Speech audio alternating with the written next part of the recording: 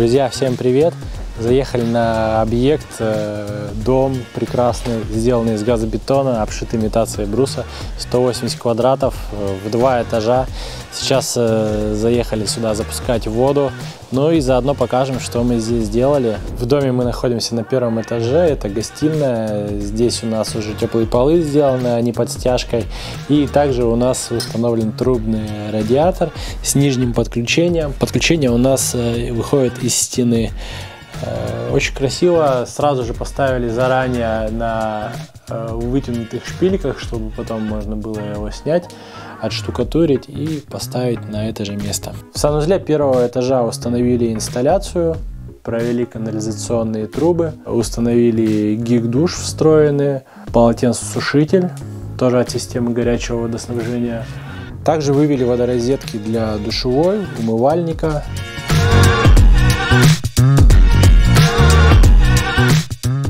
На объекте ведутся работы, поэтому не совсем чисто. Что мы здесь сделали? Мы здесь сделали теплые полы, первый этаж, э, радиаторы. На первом и на втором этаже смонтировали систему водоснабжения с циркуляцией, установили колодезный насос, автоматику для колодезного насоса, автоматику для системы отопления, то есть есть возможность полностью контроля водоснабжения, отопление, есть защита, специальная система от протечек.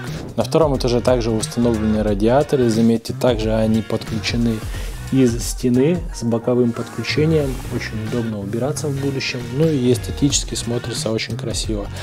Также панельный стальной радиатор специально заказываем под ширину окна. Когда уже будет отделка, это будет смотреться гармонично и красиво. Ну и также сюда устанавливается термостатическая головка. На втором этаже санузла у нас сделаны выводы для умывальников, подведена канализация, установлен специальный трап. Также у нас сделана встроенная сантехника для ванны, специальные отдельные выводы для излива, для лейки. Поставили также инсталляцию, гигиенический душ тоже сбоку, тоже встройка и полотенцесушитель. То есть осталось все зашить, отштукатурить и навесить чистовую сантехнику. Когда это будет готово, мы вам обязательно покажем. Друзья, переместились в нашу самую любимую часть, это котельная. Здесь сделано все основное. Ну, и еще раз извиняюсь, тут э, стройка идет как-никак. Мы приехали сейчас делать ввод воды, подключать частотный преобразователь для колодезного насоса. Ну и в целом, что мы здесь поставили? Это у нас электрический котел Proterm Ray, наш любимый, 24 киловатта. Это у нас бойлер из нержавейки косвенного типа с мощным теплообменником. Котел у нас подключен и к бойлеру, и к системе отопления на теплые полы и на радиаторы. Это у нас коллектор э, для радиаторов. Дальше у нас смесительный узел находится и коллектор теплых полов. Сделали все из нержавеющих труб, поставили манометры, термометры, также для заказчика специально сделали наклеечки, чтобы было понятно, что куда уходит. Обвязка сделана вся из нержавеющих труб на пресс-фитинге. Отопление и водоснабжение тоже все однотипно сделано. У нас имеется небольшой насос циркуляции для горячего водоснабжения, бак обязательно на горячую воду и коллектора холодной воды, горячей воды и циркуляции. Сейчас ребята у нас монтируют в одной узел. Это у нас труба одна ПНД идет от колодца, установлен расширительный бак, краники для обслуживания обязательно. За место вот этой заглушки будем подключать греющий кабель.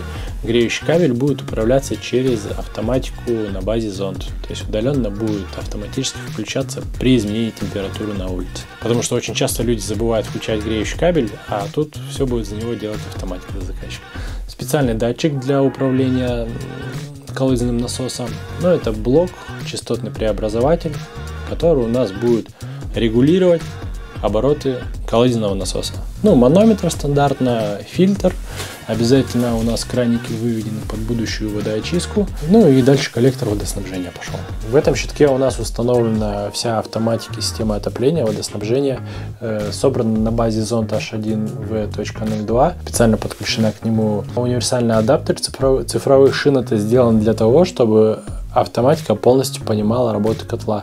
То есть у нас котел работает в автоматическом режиме, э, сам понимает, сколько топить, э, сколько греть э, по своему графику. Также это можно делать через телефон, через приложение. Отдельно мы вам это покажем. Ну и имеется вводной автомат, автомат отдельно на колодезный насос, на циркуляционный насос горячего водоснабжения, он тоже у нас автоматически включается, выключается, может также по времени сделать, и автомат нагреющий кабель. Всем этим можно управлять дистанционно.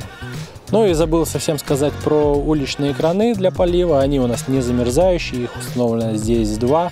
Вот так вот на фасаде они смотрятся красиво. Вот такой объект интересный у нас получился. Здесь точно будет тепло, комфортно, надежно, ну и современно самое главное. Всем пока!